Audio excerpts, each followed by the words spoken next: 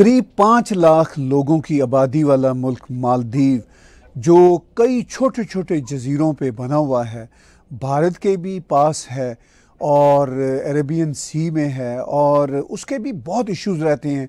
कभी वो चाइना की गोद में जाते हैं, फिर जब डेड ट्रैप की बात देखते हैं तो वापस आ जाते हैं।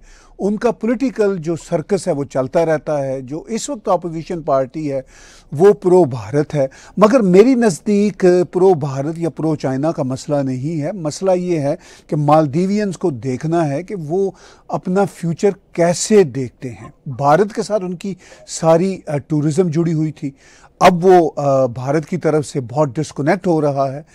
चूँकि तीन डिप्टी मिनिस्टर्स ने इंसल्टिंग रिमार्क्स कहे प्राइम मिनिस्टर नरेंद्र मोदी के बारे में भी हिंदू धर्म के बारे में भी और भारत की सरकार के हवाले से और भारत के हवाले से भी। इस वक्त उनके जो प्रेसिडेंट हैं मोहम्मद मोइज़ो, वो अभी चीन का वेरी रिसेंटली दौरा करके लौटे हैं। और मज़ीद डेड ट्रैप में आएँगे। और मैंने इस पर एक व्लॉग किया तो मुझे उनकी एक डिप्टी मिनिस्टर ने ट्विटर पे ब्लॉक कर दिया। तो इसका मतलब ये था कि मेरी बात ठीक से उन तक पहुँची है। इस सारे मसला पे ज़रा तफसील से आज बात करते हैं प्रोफेसर धीरज शर्मा जी के साथ। Indian Institute of Management Rohtak के डायरेक्टर हैं और हमें हर हफ़्ते वक्त देते हैं। हम उनके बहुत शुक्रगुजार हैं। आ, हम उनका स्वागत करते हैं इंडियन इंस्टीट्यूट मैनेजमेंट रोहतक के कैंपस से। सर बहुत बहुत धन्यवाद। सर, मैंने थोड़ा अभी परिचय बांधा और अभी वो मोहम्मद मोइज़ो जो उनके प्रेसिडेंट हैं, वो चीन के दौरे से वापस ही लौटे हैं और उनका बड़ा वो नारा था, इंडिया आउट। और फिर उन्होंने अपॉलोजी उनके ऑफ़िस ने मांगी जो इंसल्टिंग रिमार्क्स तीन डिप्टी मिनिस्टर्स के आए। लेकिन मुझे सर ये लगता है कि ऐसा हरगज़ नहीं है। ये उनकी भी पॉलिसी थी कि अपने मिनिस्टर्स को यूज़ करके वो ये बदतमीज़ी करना चाहते थे। तो फ्यूचर क्या है सर? मालदीव का। फ्यूचर के साथ साथ बल्कि बात ये बताइए पास क्या था मालदीव का? फिर फ्यूचर की तरफ़ बढ़ते हैं। देखिए जी मालदीव इज़ एन आर्चिपेलेगो जो देश मालदीव आज है इसमें तकरीबन मेरे ख्याल से ऑलमोस्ट कोई 40-50 छोटे छोटे छोटे छोटे आइलैंड हैं, जिनमें से सिर्फ़ छह या सात आइलैंड हैं जिसके ऊपर लोग रहते इसकी स्ट्रेटेजिक इंपॉर्टेंस ये है कि ये इंडियन ओशन में यू नो एक आर्चिपलागो है और ये रिटेन किया गया था एज दैट एज अ एक डेप्थ के लिए ब्रिटेन के द्वारा। अगर मैं इसकी हिस्ट्री आपको बताऊँ तो लार्जली ये एरिया जो है भारत का हिस्सा रहा for a very very long period of time till the Portuguese entered India तो मैं आप लोगों को पहले ये बताना चाहता हूँ कि बहुत सारे लोगों को ये नहीं पता होगा British were not the first ones to come to India to the Portuguese जब Vasco da Gama southern part of India में जो मॉडर्न डे केरला है, वहाँ पर जब वो लैंड हुआ कोचिन के आसपास वो जब वहाँ आया तो वो आने से पहले इन आइलैंड्स के ऊपर भी उसके, उसकी नज़र आई और उसको पता लगा कि ये आइलैंड्स हैं। और ये आइलैंड्स जो हैं, वो पोर्चुगीज की साइड में आने के बाद पोर्चुगीज ने इसके ऊपर कंट्रोल कर लिया। और ये मैं बात कर रहा हूँ लेट फोर्टीन हंड्रेड और अर्ली फिफ्टीन हंड्रेड पंद्रह सौ। और इसको, इन आइलैंड्स को, वो काफ़ी समय तक उन्होंने होल्ड किया तकरीबन 50-100 साल तक पोर्चुगीज ने यहाँ पर रूल किया। बड़ी छोटी आबादी होती थी। कोई उस जमाने में तो कोई दस बीस हज़ार आबादी but mostly because of the you know उस वक्त सी ट्रेड होता था इसको एक it was a very important point ये जो आप ग्लोब में जो धरती को देखते हैं वो, उससे अंदाज़ा नहीं लग सकता कि इनकी जो स्ट्रेटेजिक इंपॉर्टेंस है वो कैसे है। In the entire Indian Ocean यही यू नो अगर आप मोजाम्बिक से इस तरफ़ आएँगे तो ये काफ़ी उस एरिया से काफ़ी मोरशस से इन सब एरिया से काफ़ी इनकी मतलब अगर आप उस तरह से देखेंगे तो क्लोजनेस है। तो इंडियन ओशन में एक प्रेजेंस रखने के लिए उन्होंने रखा। They lost this territory to the Dutch Dutch क्या थे उस जमाने में? वो श्रीलंका में कंट्रोल uh, उनका होता था वो श्रीलंका से ऑपरेट करते थे। डच उस वक्त तो श्रीलंका नाम नहीं था कोलंबो इसको कहते थे। और कोलंबो से उन्होंने इसके ऊपर काफ़ी टाइम कंट्रोल रखा till both these powers lost this territory to the British now in about 1700 से लेकर ये एरिया 1965 तक ब्रिटिश के कंट्रोल में रहा है। 1965 तक। तो भारत आज़ाद हुआ उन्नीस सौ सैंतालीस में। तो जैसे कि यूरोपियंस की आदत रही है कि वो ओवरसीज टेरिटरीज रखना पसंद करते हैं for their defence and for strategic depth ये कॉन्सेप्ट ऑफ़ स्ट्रेटेजिक डेप्थ जो है ना ये कश्मीर में भी लागू होता है कि they want their presence there वो अपनी प्रेजेंस को एक मार्क करना चाहते हैं for the sake of not just military endeavours but just for their presence in that area that you know it is also um, it is also an oversight. तो Britain ने 19 1947 में पूरा भारत छोड़ दिया। यू you नो know, वो वहाँ से निकल गए परंतु उन्होंने मॉरिशस को 1965 तक अपने कंट्रोल में रखा जैसे कि Portuguese were the first to enter India in 1498 and probably were the last ones to leave the you know the contiguous Indian territory of Goa जब एनेक्स किया इंडिया ने गोवा 1961 में। तो गोवा दादर, दमन एंड दीव नगर हवेली, ये एरियाज़ पोर्चुगल ने भी अपने पास रखा हुआ था। इनको ओवरसीज टेरिटरीज रखने की एक अभी भी, अगर आप देखें तो मॉरिशस के पास एक आइलैंड है डियागो गार्सिया बोलते हैं उसको डियाजियो गार्सिया बोलते हैं। वो अभी भी डिस्प्यूटेड आइलैंड है। मॉरिशस ब्रिटेन अभी भी अपना उसके ऊपर कंट्रोल दिखाता है। इसी तरह से गुआम जो अमेरिका का यू नो एक स्ट्रेटेजिक डेप्थ के लिए वो उन्होंने एक आइलैंड अपने अपने अपने कंटिग्यूस जो यूनाइटेड स्टेट्स है, उससे कोई हज़ारों मील दूर, हवाई, हज़ारों मील दूर, आप लोगों को शायद ये जानकर हैरानी होगी कि कैलिफ़ोर्निया जो कि वेस्ट कोस्ट अमेरिका के है, वहाँ से हवाई जाने में बाय प्लेन आपको तकरीबन पाँच या छह घंटे लग जाते हैं। तो इतनी दूर ये एरियाज़ हैं पर इन्होंने स्ट्रेटेजिक डेप्थ के लिए यहाँ पर रखे रखा। यहाँ पर उनका कंट्रोल चलता था, यहाँ के उन्होंने एक, यहाँ एक राजा थे। यू नो जिन राजा को उन्होंने यहाँ पे एज एज जिसे जिसे हम कहते हैं ट्यूटलर पोजिशन उसमें रखा। वो रखने के बाद 1965 में जब उनको finally it was not serving any purpose they wanted to withdraw तो उन्होंने वहाँ से विथड्रॉ किया। Handing over the reign of the entire Maldive जिसकी उस टाइम पे आबादी तकरीबन मेरे ख्याल से एक या डेढ़ लाख थी टू देयर ट्यूटलर किंग अब वो किंग जो है ही did not want to make this country into a monarchy उन्होंने ये डिसाइड किया, इसको हम एक you know presidential style style democracy बनाते हैं। उनके जो बेटे थे, उनका नाम मोहम्मद दीदी, जहाँ तक मुझे लास्ट नेम उनका याद है, दीदी उनका लास्ट नेम था। उन्होंने इसको कंटिन्यू नहीं किया and he became the first president पहले वो अपने पिताजी की रीन के अंडर प्राइम मिनिस्टर रहे, फिर वो प्रेसिडेंट रहे दो तीन साल, और उसके बाद उन्होंने यहाँ पर एक प्रेसिडेंशियल साइड डेमोक्रेसी 1968 ऑनवर्ड्स यहाँ पर इलेक्शंस होने शुरू हुए। जिसमें क्या एक बंदा खड़ा होता था, अब एक सवा लाख की आबादी थी 95 परसेंट जो भी वोट कास्ट होता था, वो एक बंदे को कास्ट होता था। तो president Nasir became the first so called elected president in 1968 और उन्होंने 10 से एक साल तकरीबन रूल किया getting a majority of about 90 95 percent 94 percent vote उनको मिला करता था। Now over a period of time उनकी कुछ पॉलिसीज़ थी जिनको वेस्ट ने भी पसंद नहीं किया लोकल्स ने भी नहीं पसंद किया, जिनमें से एक again the question of cultural identity जिसकी मैं हमेशा बात करता हूँ एज अ सोशल साइंटिस्ट इन्होंने वहाँ की जो स्क्रिप्ट है, जो थानी स्क्रिप्ट है और जो वहाँ की लोकल जो जो लैंग्वेज है जिसको ध्यावई लैंग्वेज बोलते हैं ध्ययी लैंग्वेज उस लैंग्वेज को रिप्लेस करके स्क्रिप्ट को लैटिन स्क्रिप्ट इंट्रोड्यूस कर दिया विच वेरी वेरी अनपॉपुलर तो उससे क्या है जब वो अनपॉपुलैरिटी हुई तो वहाँ के लीडर जो है वो Gayoom who was a lecturer actually he became an influential person and Gayoom साहब ने वहाँ पर इलेक्शन uh, जीता। और अगले तकरीबन तकरीबन जहाँ तक मुझे ख्याल है, वो तीस साल उन्होंने अप्रोक्सीमेटली थर्टी इयर्स वो मॉलडीव्स के प्रेसिडेंट रहे। और ड्यूरिंग हिज प्रेसिडेंसी मॉलडीव्स ने बहुत स्ट्रेटेजिकली बहुत इंपॉर्टेंट स्टेप्स लिए। पहले उन्होंने अपने आईएमएफ का हिस्सा बने। आईएमएफ की गाइडलाइंस को फॉलो करते हुए, उनकी डायरेक्शन लेते हुए उन्होंने अपने देश को आइडेंटिफाई किया कि वहाँ और तो कुछ चीज़ हो नहीं सकती। Tourism is is the only mainstay of Maldives और उन्होंने 1970s ऑनवर्ड टूरिज़्म को एक्सपैंड करना शुरू किया। Over a period of time वहाँ पर टूरिज़्म बढ़ना शुरू हुआ primarily at that point on account of Indians Indians ने इस टूरिज़्म को नर्चर किया एस्टैब्लिश किया.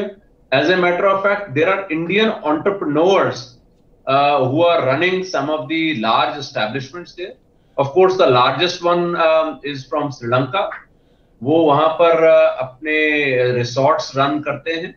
और lot of these companies lot of these resorts operate on the bookings done by Indian agents Indian companies तो ये ओवर अ पीरियड ऑफ़ जब thriving एक एक इंडस्ट्री बन गई। तो गयूम साहब you know after thirty odd years went out of favours and new government came in and that government to you know was reasonable in the sense कि उन्होंने भी ज़्यादा कोई मेजर चेंजेस शिफ्ट नहीं किए अपने इकोनॉमिक पॉलिसी और political policy it was only in 2010 11 12 tumultuous time started in in Maldives again इससे पहले भी एक tumultuous टाइम हुआ था जहाँ इंडियन आर्मी को इंटरवीन किया गया। तो ताहिर साहब, वो क्वेश्चन को हम बाद में एड्रेस करेंगे कि इंडिया डायरेक्टली मॉलडीव्स में कैसे इन्वॉल्व हुआ और इंडिया इन्वॉल्व होना चाहता था या नहीं होता था, ये इसको हम बाद में लेंगे। पर अभी मैं थोड़ा ये रन इन कर दूँ। तो 2010 11 12 में वहाँ पर अगेन एक इंस्टेबिलिटी का एक पीरियड आया।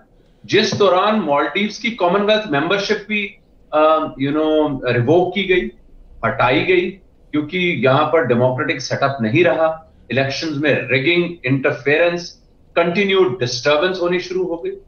बाद में इन्होंने उसको रिस्टोर किया और पिछले तकरीबन मेरे ख्याल से आठ दस साल से यहाँ पर रिलेटिव स्टेबिलिटी रही मॉलडीव्स के अंदर। It was only to overcome this stability you know instability create करने के लिए uh, बहुत बड़ा इंटरेस्ट जो है वो अगेन वो you know Chinese strategic depth China एक स्ट्रेटेजिक डेप्थ बनाना चाहता है और चाइना का जो स्ट्रिंग ऑफ़ पर्ल स्ट्रेटेजी है बहुत सारे लोगों को ये भी पता होगा कि China all the way from the Pacific Ocean down to uh, the Bay of Bengal, coming through the Indian Ocean, getting into Arabian Sea.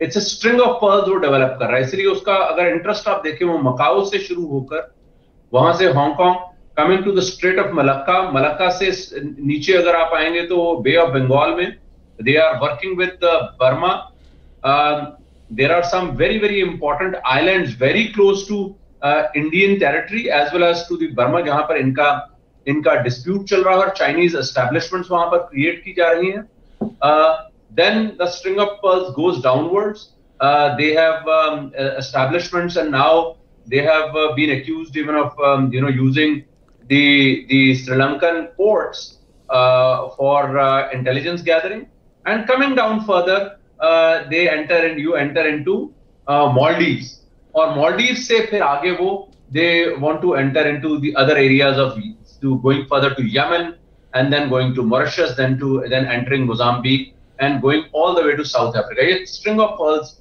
एक चाइना क्रिएट कर रहा है अपनी स्ट्रेटेजिक डेप्थ के लिए तो यहां ये जो इंस्टेबिलिटी जो क्रिएट हुई है in recent times is on account of great deal of Chinese interest अगर आप मॉलडीव्स uh, विज़िट करेंगे और अगर आपने आज से 10 साल पहले मॉलडीव विज़िट किया है और पिछले दो साल में मॉलडीव विज़िट किया है तो आपको अंतर दिख जाएगा जगह जगह पर आपको वहाँ पे बोर्ड दिखाई देंगे कि this has been developed by China this road has been developed by China. This infrastructure is thanks to China.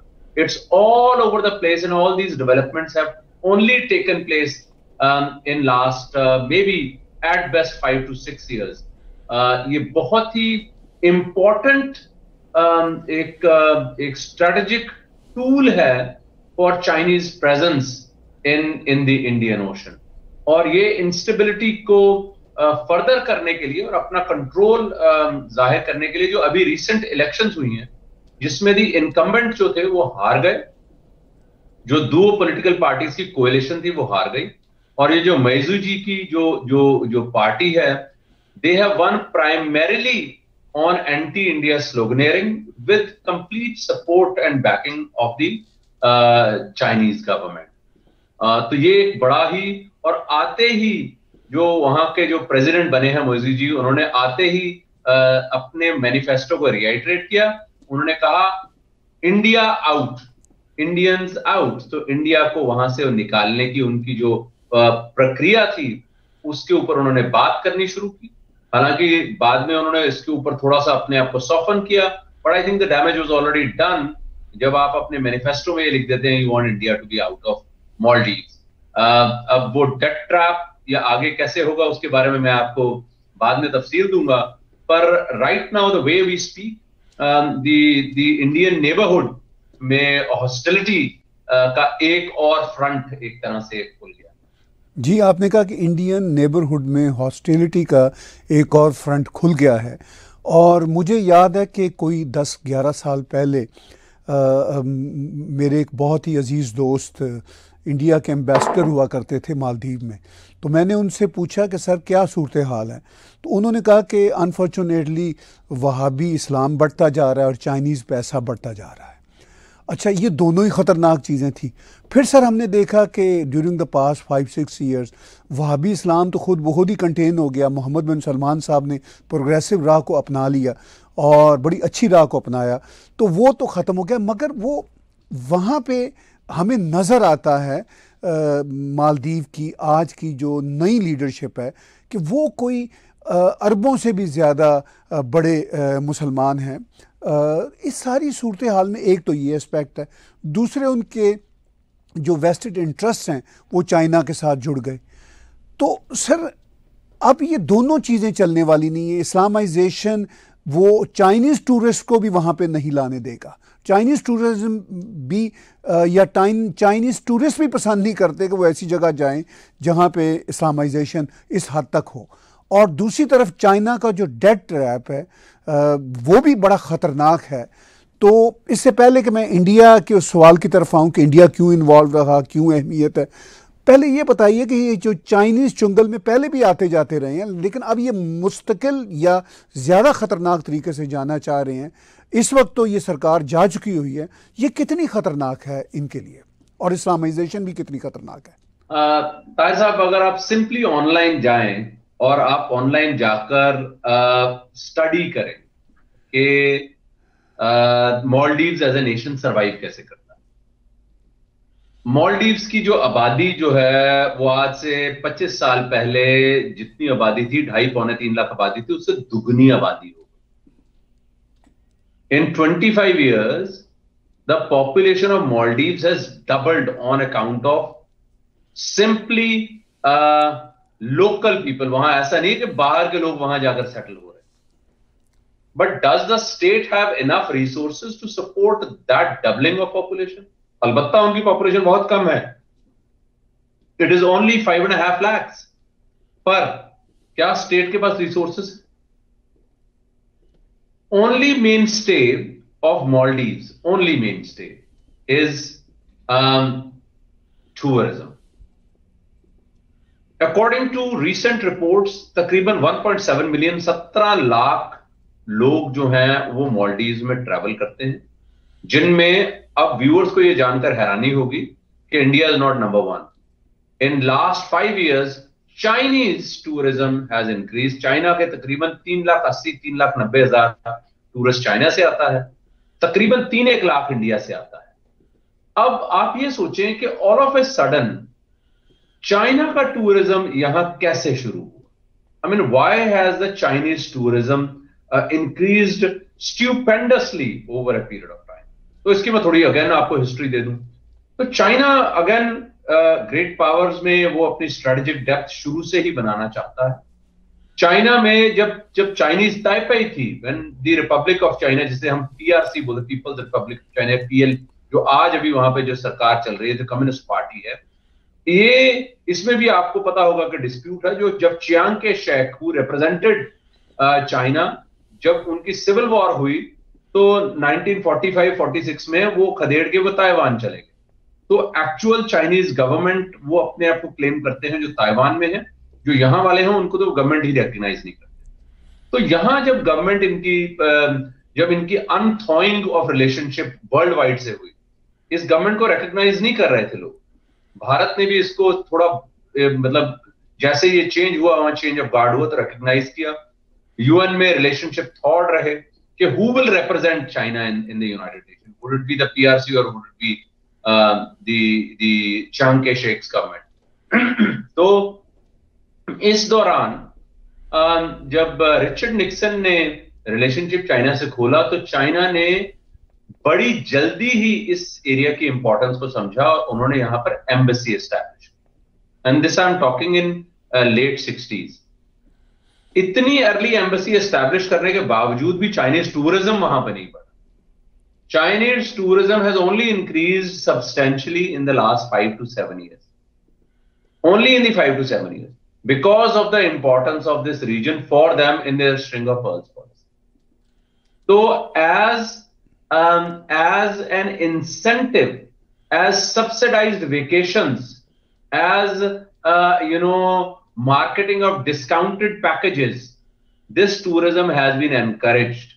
ये टूरिज्म यहां पर हुआ और यहां पर over a period of last seven to eight years जो tourism Chinese tourism is gone well beyond Indian but India still contributes a very very large portion तकरीबन 15 से 20 परसेंट जो जो टूरिज़्म वहाँ पर हो रहा है 20 परसेंट वेरी बिग अमाउंट और बहुत सारे वहाँ पर जो टूरिस्ट स्पॉट्स हैं they are dominated by Indian और इसकी मार्केटिंग भी अगर आप देखें तो इंडियन से हो रही है। तो स्टेप नंबर वन कि यहाँ क्यों टूरिज़्म है चाइना से कोई नेचुरल टूरिज़्म नहीं। इंडिया से नेचुरल टूरिज़्म हुआ फिर पास में एक डेस्टिनेशन है। हमारे जैसे ही लोग हैं, भाषा भी हमारी समझ लेते हैं। और एक बड़ा ओपन एनवायरमेंट है। अगर आप ऑनलाइन जाके, अगर मॉलडीव्स की यू नो टूरिस्ट स्पॉट्स या उनके रिसोर्ट्स की फोटोग्राफ्स देखें तो आपको लगेगा कि यूरोपियन बीचेस हैं। आपको लगेगा कि वो यूरोपियन लोग आए हुए हैं, क्योंकि उनके अटायर से, उनकी वेशभूषा से वहाँ पर कोई कवर्ड क्लैड लोग नहीं घूम रहे which by definition would be opposed to the whole idea of very fundamentalist notion of propagating the so-called Islamic values. Um, तो यहाँ एक कॉन्फ्लिक्ट पैदा हो गया एक तरफ़ से वो वहाबी इस्लाम की तरफ़ बढ़ रहे हैं और दूसरी तरफ़ वो इस तरह का open attractive very very risqué sort of a tourism and I'm using the word risque, R-I-S-Q-U-E, which is very um, enticing and alluring sort of a tourism based on beach beach sports uh, and and and also having a very open culture where you know everything uh, is is more or less like like Europe. तो ये जब conflict create होगा तो इससे बड़ी discontentment होगी not just discontentment people लोग disillusion होंगे उससे you will see rising instability because these things cannot work hand in hand. You know, you have to operate in a particular manner. एक strategic direction एक देश की अगर आप देना चाहें तो उसको देना पड़ता है। जैसे टर्की है। टर्की ने all said and done Turkey में जितने भी हार्ड कोर इस्लामिक लीडर आ जाए आज की डेट में अर्दोजान जो है वो अपनी पोजिशनिंग एक right to the centre Islamic leader करते हैं। फिर भी Turkey is very clear when it comes to कि उनके घर कैसे रहने हैं उनकी लैंग्वेज कैसे रहनी है, उनका खाना कैसे रहना है, उनके डांसेस कैसे होंगे, उनके बीचेस कैसे होंगे, उनके हॉलिडे रिसोर्ट्स कैसे होंगे, लोग का वहाँ पहनावा कैसा होगा, लोग ड्रिंक करेंगे, लोग स्मोक करेंगे, क्या करेंगे, किस तरह खाएँगे, क्या नहीं खाएँगे, वो very clear by and large आज की डेट में। अब फ्यूचर में क्या होता है वो मैं बता नहीं सकता। बट यहाँ आप एक कंफ्यूजन और कॉन्फ्लिक्ट क्रिएट कर रहे हैं। On one hand you are propagating very very fundamentalist conservative values On the other hand, your country is surviving on the basis of an open, inviting, Western uh, liberal culture. So ये conflict जो है, he cannot, uh, this cannot sustain for a very long time. It will result in greater discontentment and greater instability uh, for uh, for Maldives. जी अब ये बताइए कि ज़ाहिर है मालदीव की जो लीडरशिप है, वो अपने बिज़नेस इंटरेस्ट, पर्सनल इंटरेस्ट के लिए, वेस्टर्न इंटरेस्ट के लिए चाइना की गोद में इस वक्त जाना चाह रही है। और चाइना के लिए भी वो स्ट्रेटजिकली बड़ा इंपॉर्टेंट एरिया है। वो अपने टूरिस्ट के नंबर भी बढ़ा रहा है। चाइना इतनी बड़ी पॉपुलेशन का देश है कि चलिए मालदीव को कोई ना कोई ऑल्टरनेट मिलता रहे। भारत से कोई ढाई तीन लाख जो टूरिस्ट जा रहे थे 2023 तक अब बड़ा एक बाइकआउट सामने आ रहा है। तो क्या आपको लगता है कि मालदीव चाइना के डेट ट्रैप को सह सकेगा? मैं सबसे पहले इंडिया और मालदीव्स के थोड़े रिलेशन बता दूँ फिर मैं चाइनीज़ डेट ट्रैप के बारे में भी ज़रूर ज़रूर। देखिए जी नाइनटीन सिक्सटीज में जब पोर्चुगल का रिलेशन इंडिया से जो चल रहा था पोर्चुगल ने अपने एनक्लेव रखे हुए थे तो भारत ने बड़े स्ट्रेटेजिकली जगह जगह जाकर डिप्लोमेटिकली इस इश्यू को रेज किया कि भी आपको यहाँ नहीं रहना चाहिए। पुर्तगाल ने कुछ एरियाज़ खाली कर दिए कुछ एरियाज़ उन्होंने नहीं खाली किए। 1961 में सरदार वल्लभ भाई पटेल यू नो तब तक आ, उनकी डेथ हो चुकी थी। आ, तो ये इशू कई साल लिंगर ऑन होता रहा। तो जवाहरलाल नेहरू जी ने फाइनली एक स्टैंड लिया और उन्होंने मिलिट्री इन्वेजन किया और वी एनेक्स्ड द टेरिटरी और 1961 से लेकर 1974-75 तक इंडिया और पोर्चुगल के डिप्लोमेटिक टाइज नहीं रहे आप लोगों को जानकर हैरानी हो परंतु भारत ने उस टेरिटरी को लिया। भारत ने मॉलडीव्स की टेरिटरी को कभी नहीं लिया। हालाँकि it is very easy for India it could been it would been very very easy for India to take over Maldives from the British because 1965 में ब्रिटिश कंट्रोल था। ब्रिटिश के साथ उन्होंने क्या झगड़ा करना था? 65 में उन्होंने छोड़ा। India could have easily taken Maldives into its own but India ने नहीं लिया। क्योंकि इंडिया ने एक स्पिरिट से उसको में काम किया कि भाई ठीक है इट्स मुस्लिम मेजोरिटी आइलैंड्स और वो अपना रह रहे हैं and they have cordial relations with India otherwise viewers को मैं रिमाइंड कराना चाहूँगा कि सिक्किम भारत में 1970s में मर्ज हुआ है। 1973 74 around that time Sikkim used to be an independent kingdom वो भी तो भारत इसको भी ले सकता था। तो भारत ने कभी भी मॉलडीव्स के इंटरनल अफेयर्स में इंटरफेरेंस नहीं की till a situation emerge where Maldives invited India to come and help तो मैं आपको रिमाइंड कराना चाहूँगा आपके व्यूअर्स को 1988 में प्रेसिडेंट गयूम की प्रेसिडेंसी वहाँ पे चल रही थी और वहाँ पे लोकल उनके आ, कुछ अपोजिंग पार्टीज़ थी। उनमें some of them were aided and abetted by some you know Tamil militia as well जो कि उनको सपोर्ट कर रहा था और देर वॉज़ अ लोकल एक मोल्डिवियन बिजनेसमैन था who was a very wealthy person who supported financially and otherwise in together this a very strong opposition against President Gayoom's government. So much so that this was an armed invasion. और इस armed invasion में उन्होंने सबसे पहले presidential palace पे attack किया और presidential palace में जब तक वो अटैक कर पाते अच्छे तरीके से प्रेसिडेंट की कुछ फोर्सेस थी बाय द वे ये भी आपके व्यूअर्स को जानकर हैरानी होगी कि मॉलडीव्स की जो फोर्सेज हैं, उनकी ट्रेनिंग भी भारत में होती है। बहुत सारे हमारे एस्टेब्लिशमेंट्स हैं, जैसे यू नो जहाँ पर हमारे ऑफिसर ट्रेन होते हैं, उनके भी ऑफिसर्स यहाँ आकर ट्रेन करते हैं। तो हमारा क्लोज और लिंकेज रहा है उनके साथ। तो दे प्रोटेक्टेड दी प्रेसिडेंट और प्रेसिडेंट को वहाँ प्रेसिडेंशियल पैलेस से इवैक्यूएट करके डिफेंस मिनिस्टर के घर लाया गया। और वहाँ से कांस्टेंट वहाँ के प्रेसिडेंट ने सिग्नल भेजे यूनाइटेड स्टेट्स को। यूएस को बोला कि मेरी मदद के लिए आप कुछ फौज भेजिए। देखिए, मैं डेमोक्रेटिकली इलेक्टेड हूँ और मेरे खिलाफ ये ऐसे इन्वेजन हो रहा और पूरा क्योस हो गया पूरे देश तो यूएस ने at that point in time मेरे ख्याल से जहाँ तक मुझे याद पड़ता है या तो जिमी कार्टर थे या रोनाल्ड ड्रैगन थे मुझे लगता है रोनाल्ड ड्रैगन थे उस टाइम पे। रोनाल्ड ड्रैगन ने 1988 में हाँ जी थे। उन्होंने कैटेगोरिकली उन्होंने कहा कि it will take us at least few days to respond क्योंकि हमारी जो प्रेजेंस है इंडियन ओशन में, उसको वहाँ पे पहुँचने के लिए वो मॉरिशस के आसपास उनकी प्रेजेंस थी, उसको यू नो मोबिलाइज करने के लिए हमें आने के लिए तीन चार दिन लग जाएँगे। Then president Gayoom reach out to UK और यूके ने भी अपनी इनेबिलिटी दिखाई, उन्होंने कहा हमें भी मस्टर करने के लिए। एंड यूके एडवाइज एक्चुअली कि आप इंडिया से मदद मांगिए इंडिया शायद आपकी मदद करे।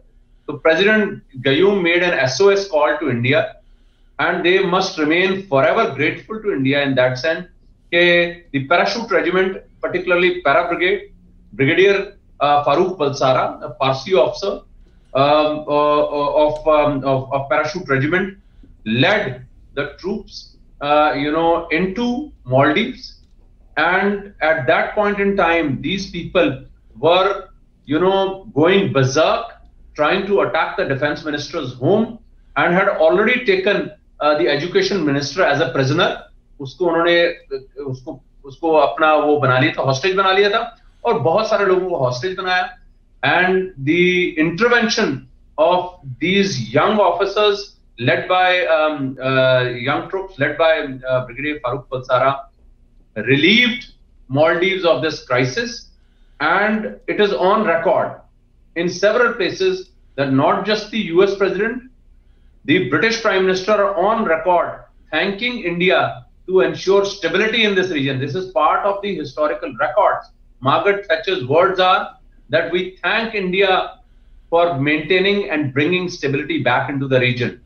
At that point in time तो ये इंडिया का इंटरवेंशन तो इंडिया ने वहां पर वॉलेंटरीली अपने कोई ट्रुप स्टेशन नहीं किए थे जिनको ये कह रहे हैं ना आउट इंडिया जो आज you know after good thirty four thirty five years आप uh, कह रहे हैं कि आउट इंडिया तो ये इंडियंस वहाँ वॉलेंटरीली नहीं गए थे।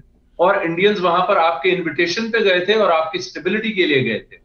और अगर आप वहाँ आज इंडिया के दुश्मनों को इनवाइट कर रहे हैं तो I think then this presents you know a security threat for India, a very big security threat for India has the right to defend itself in that sense.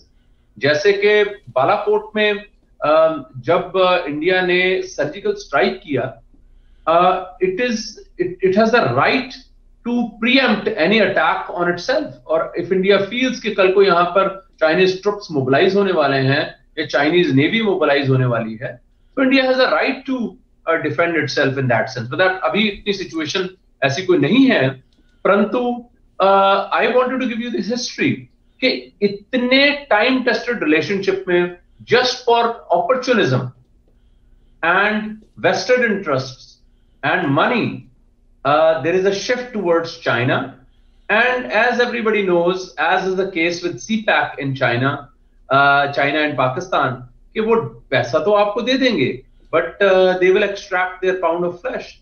This is now evident in case of Bangladesh. This is evident in case of Sri Lanka. This is evident in case of Pakistan. This is evident in case of many many uh, African republics जहाँ पर आपको date diplomacy जिसे कहे debt trap कहा जाता है कि आप उसको डेट देते हैं and then you want something in exchange uh, no uh, इसका uh, बाकी में तो फिर भी लोग होंगे यू you know, जो कुछ कर करा के थोड़ा बहुत एडजस्ट करके मैनेज करके यहाँ तो I don't believe the only possible outlet for the people of Maldives would be they will lease this place to to China और वो लस्सी बन के उसका रेंट कलेक्ट कर लें और उनको यहाँ रेस्ट करने दें। And then all this notion of autonomy and independence and democracy will go away because you know you will become a state uh, जिसकी की you know जिसकी की अभी भी you know एक uh, एक जिसे कहते हैं खुशबू या बदबू वो दुनिया में आनी शुरू हो गई है कि कैसे डायरेक्ट इंटरफेरेंस है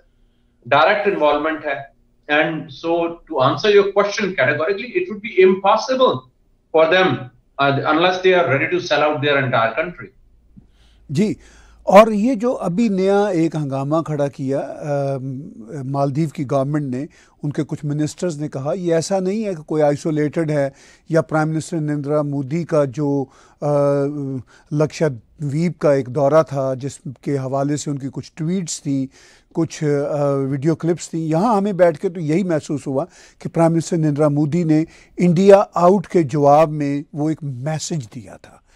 तो प्राइम मिनिस्टर नरेंद्र मोदी के इस डिप्लोमेसी के हवाले से या इस मैसेज के हवाले से आप क्या देखते हैं? भारत में टूरिज़्म के कॉन्टेक्स्ट में मालदीव की टूरिज़्म के कॉन्टेक्स्ट में एक बाइकआउट तो नज़र आता ही आता है, मगर इसके अलावा आप क्या देखते हैं? क्या मालदीव अपने आप को रोक पाएगा? क्योंकि वहाँ की जो अपोजिशन जमात है, उसने तो भारत के हक में बात की है। लेकिन क्या आपको लगता है कि प्राइम मिनिस्टर नरेंद्र मोदी या उनकी रजीम का अब क्या एक्शन होगा कि चाइना के कदम वहाँ पे ना जमे? क्योंकि वो इंडिया की स्ट्रेटजिक जो जो ज़रूरत है उसके ख़िलाफ़ है। तो इस सारे मंजरनामे को आप कैसे देखते हैं? देखिए, सबसे पहले तो लक्षद्वीप जो है, वो मॉलडीव्स के ही पास में है, कोई इतना दूर भी नहीं है, उसी रीजन में है। और लक्षद्वीप भी एक आर्चिपलागो है, वहाँ पर भी तकरीबन मेरे ख्याल से तीस के करीब आइलैंड्स हैं। उनमें से कुछ आइलैंड्स हैं जो जो इनहेबिटेड हैं।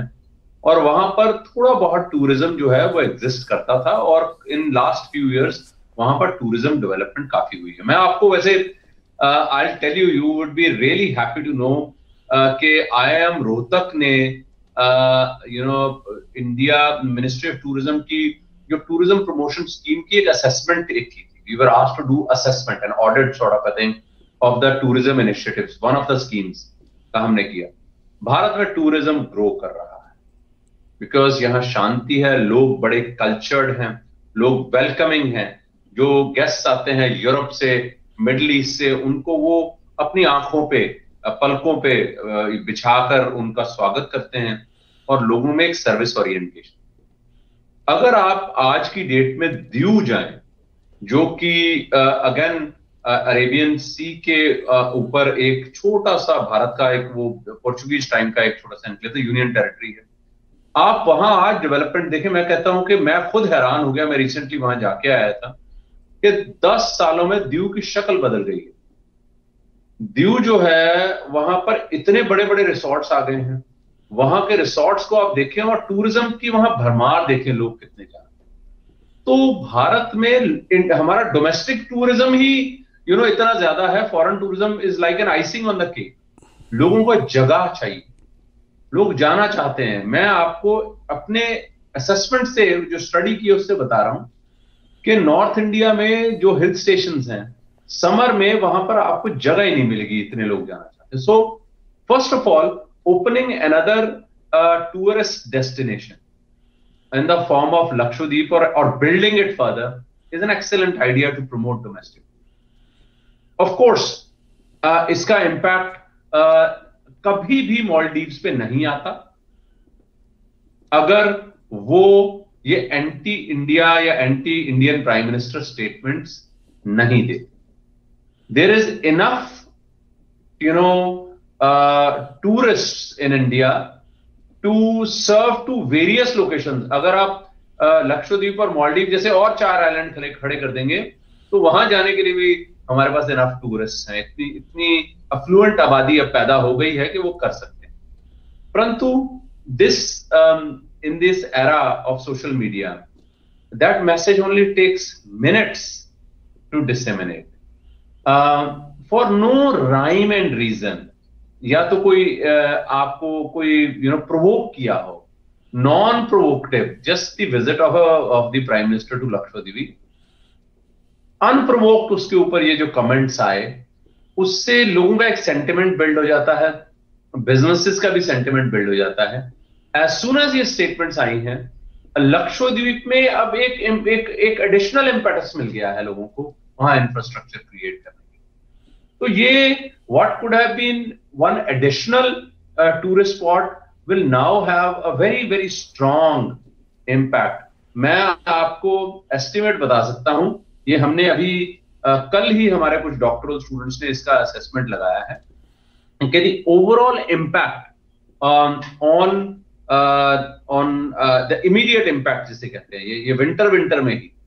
Because lot of tourism is in winter क्योंकि वहाँ पर मौसम अच्छा होता है वहाँ पर थोड़ा मौसम is pleasant during this time कि December January February March is very good weather तो इस just during this period they can anticipate a loss of about a billion dollar लोगों ने वेकेशन अपनी कैंसिल करनी शुरू कर दी है वहाँ लॉर्ड ऑफ़ टूरिस्ट कंपनीज़ जो ऑर्गेनाइजर्स हैं, उन्होंने ऑल्टरनेटिव पैकेजिंग बना के लोगों को देनी शुरू कर दी।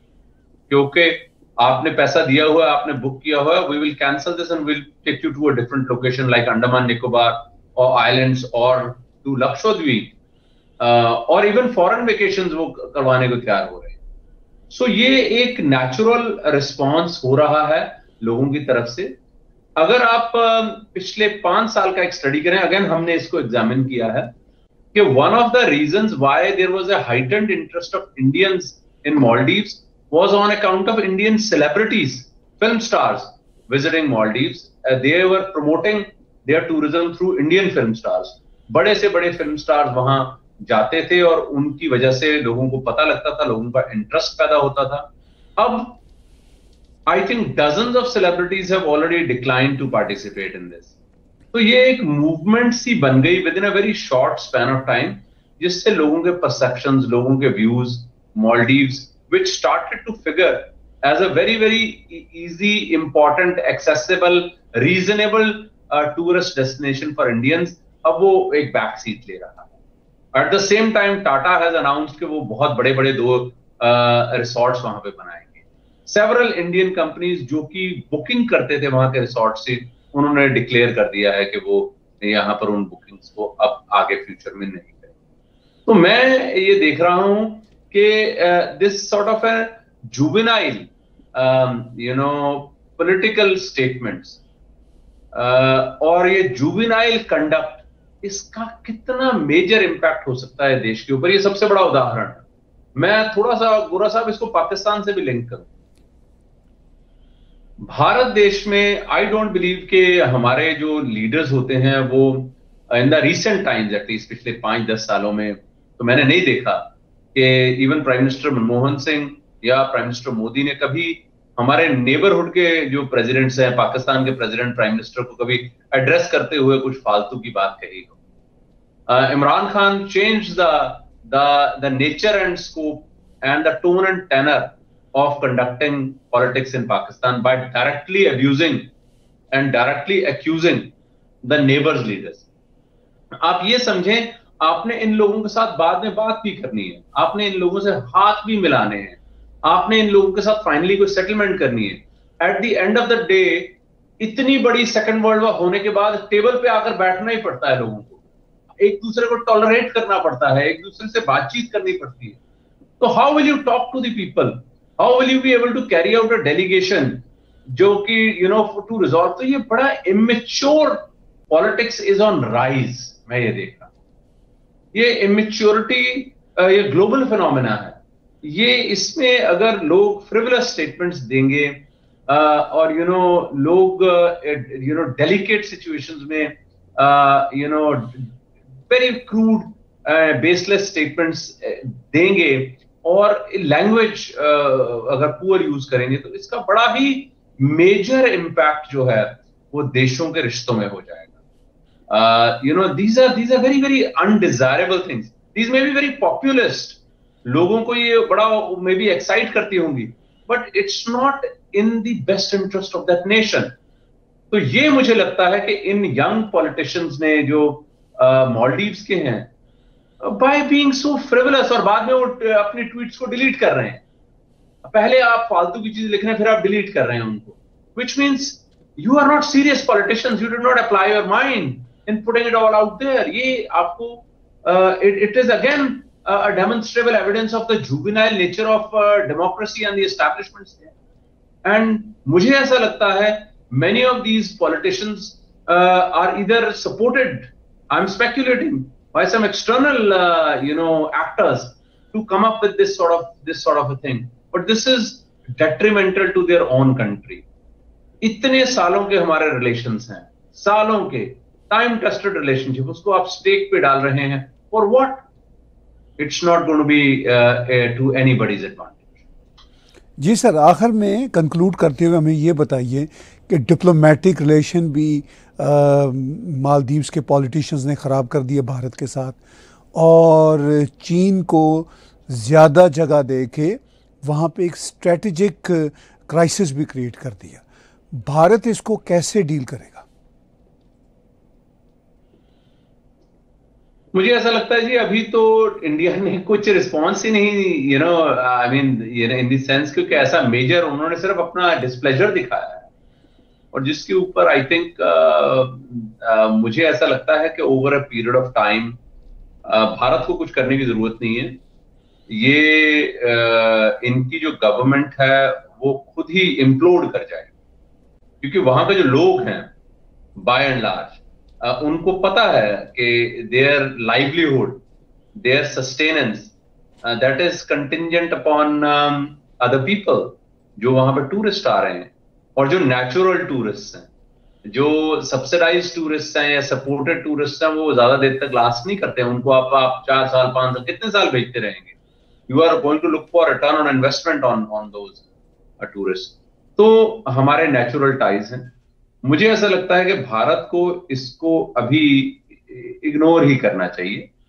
उन्होंने अपना डिस्प्लेजर दे दिया है और इग्नोर करें।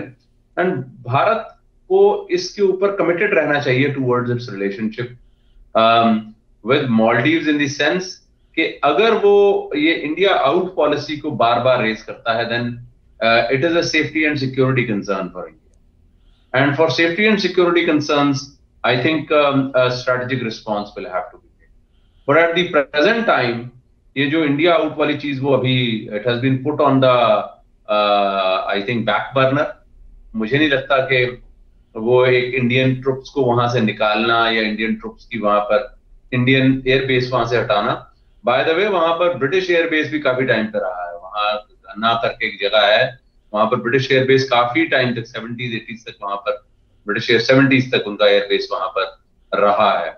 तो you know this is this is not an easy thing just to you know just give away India will have to evaluate its options at the present time I think it is all rhetoric क्योंकि मिजू साहब जो है वो उन्होंने election uh, जीती है और वो चाइना में जाकर उन्होंने अपने आकाओं के आगे हाथ भी बाँध दिए हैं। पर रियल एक्शन अगर वो भारत को यहाँ से एग्जिट कराने की बात करेंगे तो उनका देश जो है, वो सफ़र करेगा। वो स्टेप लेने से पहले वो चार बार सोचेंगे।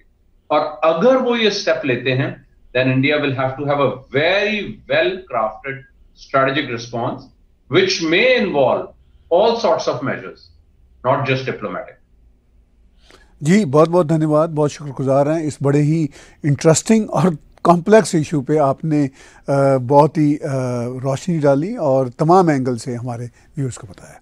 बहुत बहुत शुक्रगुजार हैं आपके। व्यूज़ बातचीत सुन रहे थे प्रोफेसर धीरज शर्मा जी की। भारत मालदीव के रिश्ते चाइना मालदीव की स्ट्रेटजिक ज़रूरतें या वेस्टर्न इंटरेस्ट आगे आने वाले दिनों में क्या शक्ल अख्तियार करते हैं वो हम भी देख रहे हैं आप भी देख रहे हैं और प्रोफेसर धीरज शर्मा जी जैसे जैसे इस सिचुएशन में आ, कोई भी डेवलपमेंट होगी, उस पर मज़ीद हमें एनालाइज करके बताएँगे।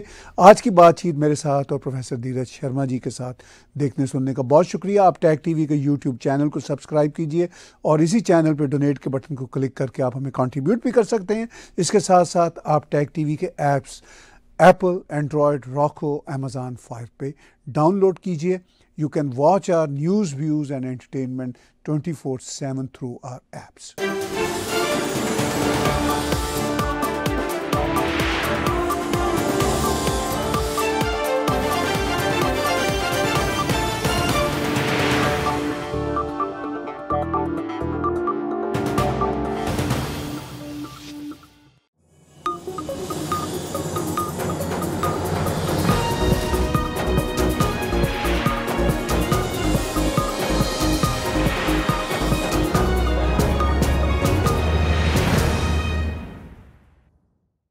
Subscribe Tag TV YouTube channel and press the notification button.